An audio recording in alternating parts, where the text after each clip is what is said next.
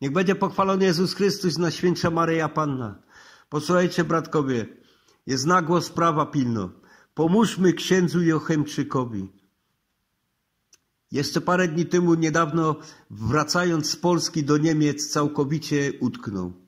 Samochód całkowicie się po prostu posłuszeństwa odmówił.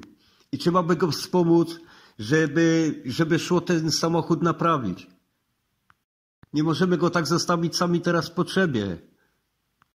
Jedno wam mogę powiedzieć, co wiem, to ksiądz Jochemczyk nie posiada jakichś tam, e, że tak powiem, e, dodatkowych gdzieś na boku pieniędzy. Naprawdę żyje tak samo skromnie jak my, co niektórzy z miesiąca na miesiąc, co ledwo koniec z końcem wiąże, także ciężko by było cokolwiek załatwić, żeby mieć w ogóle na tą naprawę.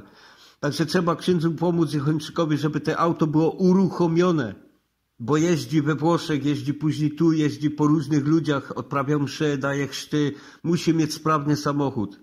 Nawet z Polski zamawiają u niego msze święte we Włoszech, żeby jakoś wszystko było.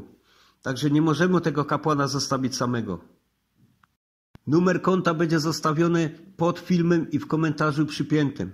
Jeszcze jest jeden link który będzie do kanału pod chorągwią Matki Bożej Łysieckiej, będzie umieszczony. Tam będziecie mogli uzyskać również numer konta i większe informacje o tej sytuacji, która się wydarzyła w Niemczech.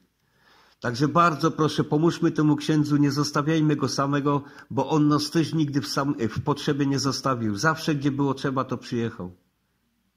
Serdeczny Bóg zapłać wam za wszystko. Niech wam Pan Bóg błogosławi, a Matka Boża prowadzi po drogach Syna, do Syna.